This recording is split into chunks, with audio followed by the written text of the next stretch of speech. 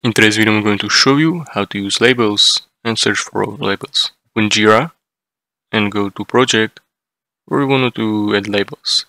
Navigate to backlog or board and select issue where we want to add label. In issue details look for labels field.